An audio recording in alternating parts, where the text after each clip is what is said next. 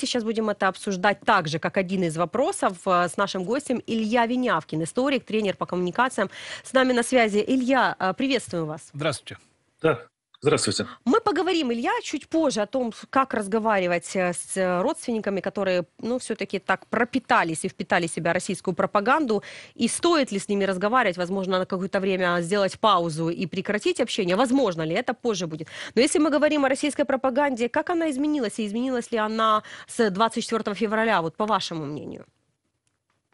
Ну, я сразу скажу, да, что я значит, стараюсь не очень пристально за, за ней следить, не, не, не всегда хватает на, на, на это сил, сил и какого-то психического здоровья.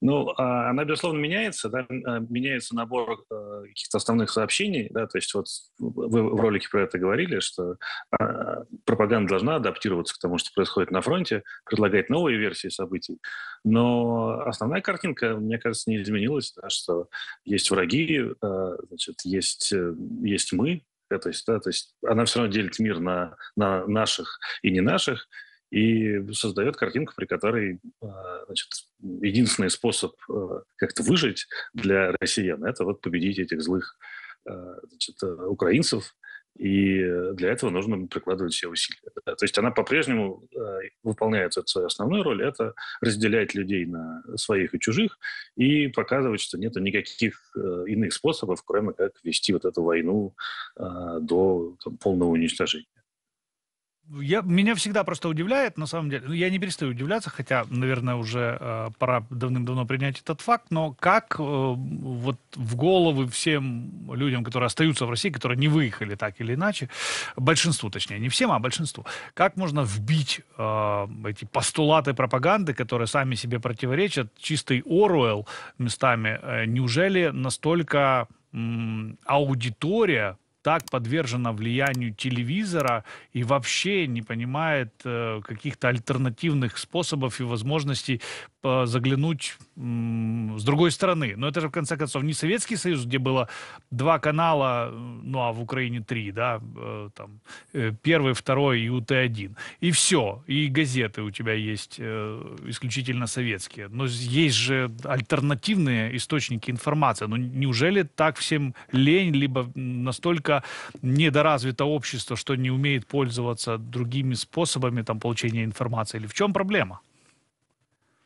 Ну, у меня здесь, наверное, ответ для вас скорее не какой-то не очень радостный. Да? А вот тут скорее я тут подумал про то, откуда у нас вообще есть представление о том, что э, правда имеет настолько большое значение. Ну вот мы видели, например, на э, ситуации с ковидом, да, э, когда как бы не было э, такой как бы, ситуации, когда у вас есть диктатура, да, или у вас есть э, мощная цензура. Нет, у вас э, ну, как бы во всем мире была ситуация, когда были проверенные источники информации, был какой-то э, научный консенсус. И все равно было очень много миллионов людей в самых разных странах, которые ковид отрицали.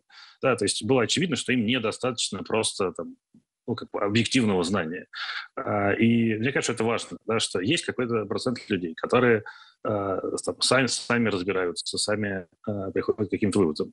Но вообще так работает как бы не везде. Наоборот, очень часто бывает, что люди, которые, у которых есть такое критическое мышление, они, наоборот, там, могут впасть в какую-то конспирологию и создать картину мира, в которой все, все не, как бы не так, как есть. Да, просто потому, что э, они, наоборот, стремятся к каким-то сложным объяснениям реальности. Вот. И э, мне кажется, здесь как бы, та штука, с которой мы имеем дело, она, э, она простая, да, что людям очень часто важно не что на самом деле случилось, не, не какая-то правда, а им э, важны отношения, им важен ответ на вопрос, кто они.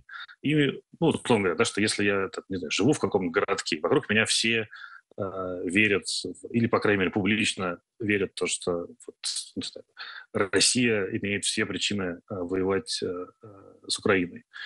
Дальше у вас вопрос, как бы, это кто я? Вот хочу ли я почувствовать себя другим? Да? Вот если я сейчас признаю, что это все не имеет никакого смысла, то это значит, что мне нужно э, жить какой-то другой жизни, да, мне надо ее менять. И это скорее вопрос э, про то, есть ли у этих людей выбор, э, значит, могут, значит, вынесут ли они другую реальность. Вот если я живу и тут понимаю, что все это, все это ложь, все это не так. Есть ли у меня возможность жить какой-то другой жизнью? И э, кажется, что это скорее про это, да, про то, частью какого там, сообщества или сообщества мы себя ощущаем, и какие у нас есть возможности.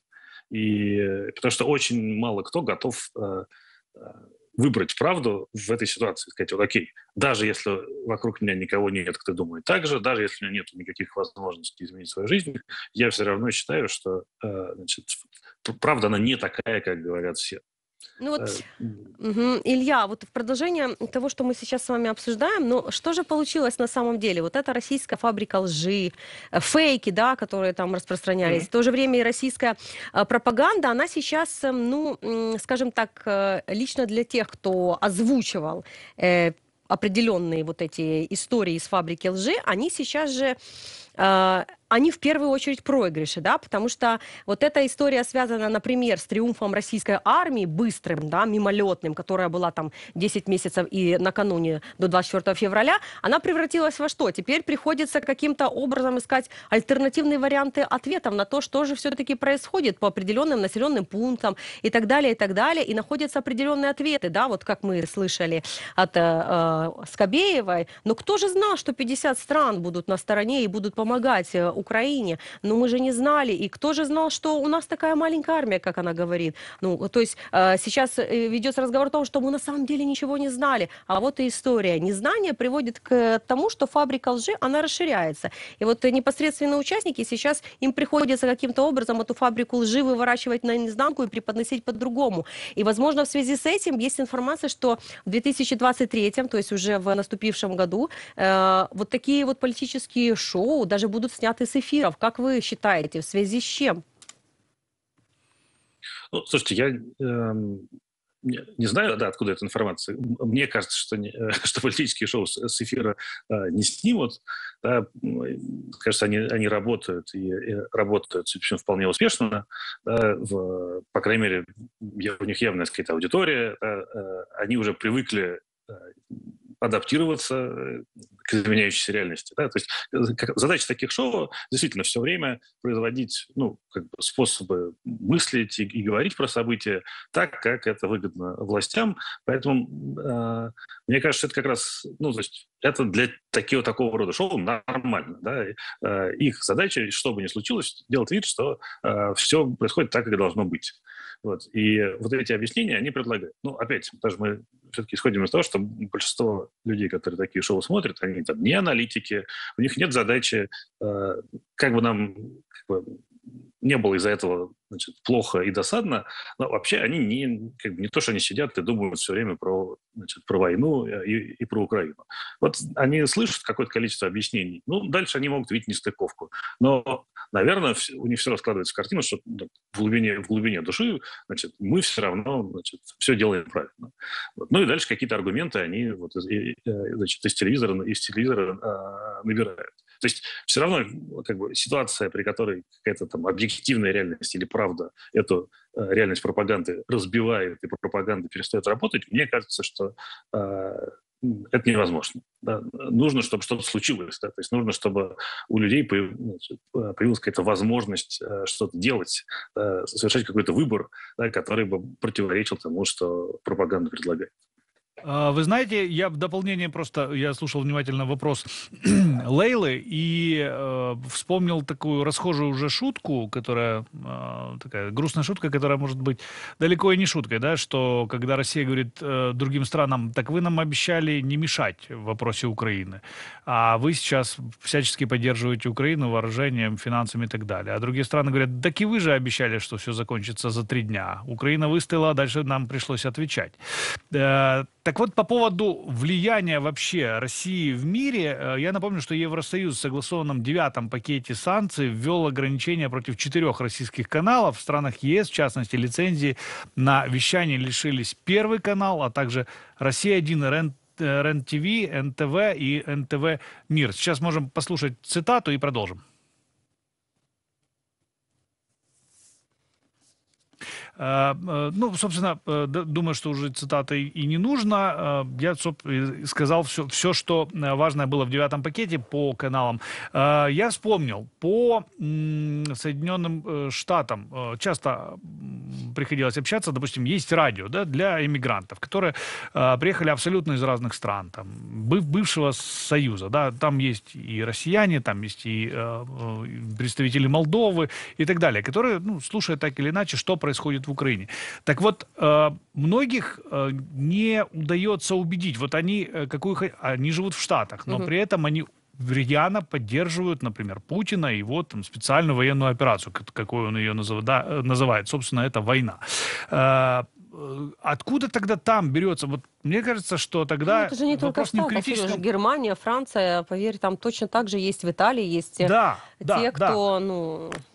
Ну, допустим, даже если запретили эти все каналы, все равно, если человек хочет получать информацию, которую он привык от Скобеева, он ее все равно найдет в любом случае. То есть вопрос в, только в личных симпатиях. Например, я жил в Советском Союзе и был пионером, соответственно, я люблю Путина сейчас, да, и дальше я буду воспринимать только через призму Путина э, всю Россию, ее действия в Украине. И, не, ну, собственно, тогда не в пропаганде дело получается. Я правильно понимаю?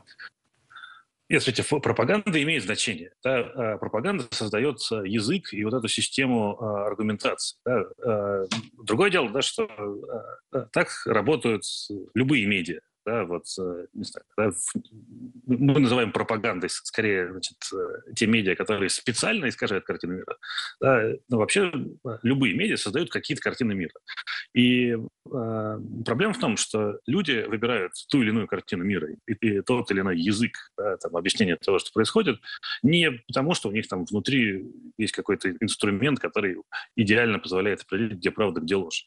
Они выбирают ту картину мира, которая больше их поддерживает, больше поддерживает их э, понимание того, кто они. Да, то есть если у вас есть иммигрант, который приехал там, не знаю, в Америку и считает, что он русский, или там для него важна связь с родиной, то он будет поддерживать, ну, то есть с большой вероятностью он может быть за ту картину мира, которая там, говорит о том, что там, его родина там, великая, все делает правильно и так далее.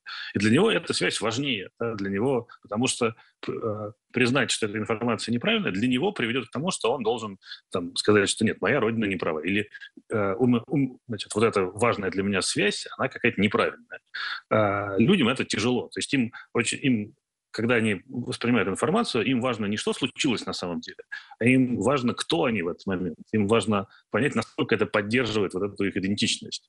Да, то есть э, и в этом смысле просто чистой правдой да, или там, чистым информированием с этим как бы нельзя э, справиться. Да, нам нужно понимать, вот, почему э, для людей так важно в это верить. Илья, и все-таки возвращаясь к тому, с чего мы начинали, когда мы говорили тему, которую сегодня будем с вами обсуждать как итоговую, потому что действительно 10 месяцев для многих семей э, привели к разрывам связи. Так называется, кстати, фильм, о котором мы когда-то говорили, очень хорошее документальное кино, реальное кино сделала, и можно посмотреть этот материал, фильм Андрея Лошака о разрыве связи, где действительно идут э, и показаны э, так называемые, как я говорю всегда, свидетельствования э, мамы и дочери, дочки, да, у которых а, абсолютно различные мнения. Я сейчас просто зрителям напомню, хотя я советую посмотреть, потому что прекрасная работа Андрея Лошака, и достойно и необходимо, чтобы это посмотрели и увидели, как действительно происходит разрыв связи между поколениями. А, и, кстати, не всегда зачастую молодое поколение, а, да, там выступает против войны, а старшее за. Нет, абсолютно не так. И что происходит в российских семьях, необходимо это посмотреть. И скажу так, в большинстве своем в семьях, которые показаны в этом э, фильме, э, они прекратили общение. Я вот к этому хотела привести, да, что, ну, mm-hmm. все-таки произошел разрыв связи, поэтому и название, да, логичное. Э, все-таки, как вы считаете, э, необходимо, то, что я говорила в начале, я хочу так очень аккуратно и толерантно, прекратить общение между родственниками, э, либо же все-таки каким-то образом, особенно сейчас, когда прошло определенное время, да, уже вот скоро будет год, как э, началось это полномасштабное вторжение 24 февраля, э, либо же все-таки вот когда прошел определенный термин, необходимо все-таки налаживать какие-то определенные связи и попытаться в очередной раз э, сказать, что же на самом деле происходит. Как быть в этом вопросе? Подскажите, пожалуйста. А, значит, как я на это смотрю? Мне кажется, что в, ну, отношения с близкими людьми – это супер важная для всех, для нас вещь. Да? И если у нас эти отношения э, разрываются, мы страдаем. Да? Ну, то есть какая-то важная часть нашей жизни, она оказывается там, э, под ударом. Поэтому, конечно, э, мне кажется, что важно разговаривать с близкими людьми. Я тут подчеркну, не, что, то, что, то, о чем я сейчас буду говорить, это не, не вообще про разговор со всеми, не с, это не, то, как мы разговариваем с людьми, которые нам дороги, очень сильно отличается от того, как там, надо разговаривать с людьми там, в Фейсбуке или там, с людьми, которые, которых вы просто встретили и которые верят в, значит, в какую-то ерунду. Вот, если у вас есть близкий человек, и вам кажется важным э, отношения с ним а, сохранить, то у нас есть способы это делать. То есть есть, там, условно говоря, модели, которые помогают такие конфликты решать.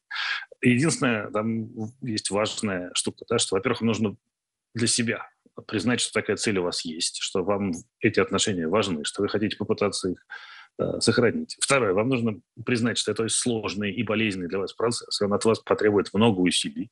И я вот тут как бы не могу никому э, рекомендовать сейчас, да, потому что там первый вопрос, на который нужно ответить, а есть ли у вас сейчас силы, у вас сейчас э, хватит, там, не знаю, последовательности, там, спокойствия, значит, энергии, такта и, и любви э, тратить время и пытаться говорить с другим человеком э, явно на эту как бы, непростую и болезненную тему, потому что может получиться, что все станет еще хуже. Вот, если у вас такая цель есть, если вы говорите, окей, я хочу эти отношения э, сохранить, если значит, они для меня важны, то можно попробовать э, дальше э, двигаться и делать значит, набор шагов. Там одна важная штука, что если вы эти шаги делаете, то вам не нужно пытаться рассказать человеку, что происходит на самом деле. Да, с этой установкой вы, у вас не получится э, ничего изменить, если у вас уже есть конфликт. Да, потому что если у вас этот конфликт есть, если вы перестали говорить, то нам нужно признать, что у вас разные точки зрения, да, что у вас уже вот эти как бы ваши правды не совпали. И если вы будете еще дальше пытаться туда идти и рассказывать, а вот на самом деле вот так-то, а ты во всем не прав, а посмотри, значит, ты уже, значит, сколько уже там, 10 месяцев не прав, и тут не прав, и здесь не прав, то это только вызовет отторжение. Человек будет защищаться. Э, уточнение хочу. Это же, ну, назову это схемой, да, или вариант, который вы сейчас озвучиваете, mm-hmm. ваше мнение. Оно также мы можем его э, все-таки эксп- э, использовать в вопросе общения э, украинцев, которые сейчас находятся в Украине, да, и которые имеют родственников Российской Федерации, и которые, ну, абсолютно разорвали отношения, разорвали связи. Либо же все-таки, ну, это по-другому должно быть, э, исходя из того, что Российская Федерация продолжает агрессивную войну, ракетные обстрелы и так далее? А, ну, то, что я рассказываю, это а, в каком смысле? Это универсальная рамка, которая, а, значит, да, которая придумана для того, чтобы разрешать конфликты. Но опять-таки, да, в, эм, мы ее можем использовать, если вы хотите, если вы для себя понимаете, что вам почему-то нужно из этого э, состояния конфликта выйти. Я совершенно не буду э, вас убеждать, что вам, да, если вы оказались в этой, в этой ситуации, нужно этот конфликт решать. Да, просто тут, к сожалению, как, такая штука, из которой ну, как бы, есть какие-то вещи, которые вы можете сделать, какие-то вы не можете сделать. Вот я точно как бы знаю, да, что если у вас уже этот конфликт случился, то от того, что вы будете еще раз, э, там, не знаю, присылать ссылки на то, как оно на самом деле, да, или значит, пытаться как-то информировать этого человека, да, то есть ему какие-то доказательства приводить, то он с очень большой вероятностью эти доказательства не услышит.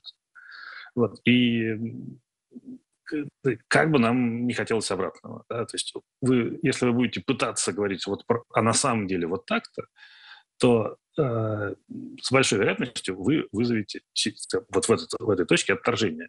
В целом, вот, как бы, та модель, о которой я э, говорю, она допускает того, что вы э, можете обсудить, а что там на самом деле. Просто для этого нужно проделать большую работу. Вам нужно убедиться, что человек вас слышит. А, скорее всего, в, в самом начале – он не будет вас слышать. И вот нужно проделать какую-то большую работу, э, проделать целый ряд шагов, и после этого тогда вы уже сможете обсуждать, что там на самом деле происходит.